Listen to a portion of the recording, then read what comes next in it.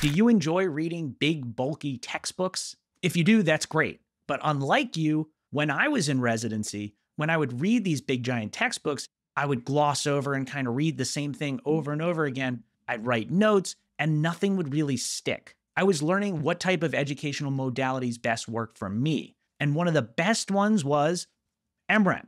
And that's why I'm working with them. I've always looked up to them. Stuart Swadron, Mel Herbert, Jess Mason, Mizuho Morrison, all these people are the lead experts in EMRAP series known as C3 or Core Comprehensive Curriculum. And the cool thing about C3 is that CorePendium chapters or EMRAP's online textbook actually form the outline of each episode with real patient case presentations, including actual live recording in the emergency department, actual images in the show notes, and outcomes of each case. It does a deep dive into all of these chief complaints and very common diagnoses in the emergency department. It kind of sticks to the signs and symptoms and what we should be looking out for from that initial presentation to our diagnostic workup to our disposition. And it's all talked about with these monsters of medical education. And when you're listening to these real patient presentations, really try to imagine yourself in that room and think through your differential.